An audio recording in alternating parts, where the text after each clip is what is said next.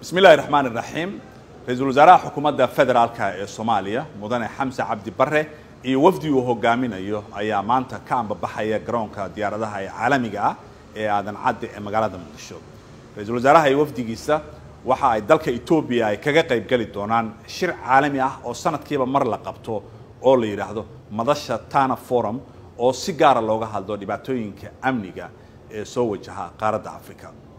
shirka sanadkan waxaa ka qayb galaya madaxweyneyaal mas'uuliyiin kala duwan iyo qaar ka mid a hogaamiyaashii hore ee qaaradda africa iyo hay'ado caalami ah. Waxaana si gaara sanadkan loogu eegi doonaa shirka tana forum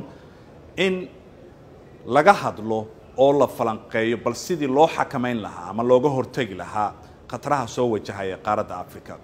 ra'iisul wasaare xamse cabdi bare oo la filayo in shirka uu khudbad ka jeediyo ayaa waxa uu kaga hadli doonaa dhibaatooyinka xagga amniga ee haysta dalal fara badan oo qaaradda ah oo ay ka mid tahay soomaaliya oo si gaara ula dagaalamaysa kooxda xag jirka ah ee argagixisada ee al-shabaab oo dowladda soomaaliyeed iyo weliba shacabka oo isku duuban hadda ay doonayaan sidii loo dabargoyn lahaa oo waddanka looga ciribtiri lahaa. Shirka oo dhowr maalmood socon doona inta uu soconaya waxaa ra'iisul wasaaruhu uu kulamo gaargaara la yeelan doonaa mas'uuliyiinta iyo madaxda qaaradda africa ee ka qayb galaysa oo si gaara ugala hadli doono sidii la isaga kaashan lahaa la dagaalanka kooxaha argagixisada oo meelo fara badan oo qaaradda ah dhibaatooyin ku haya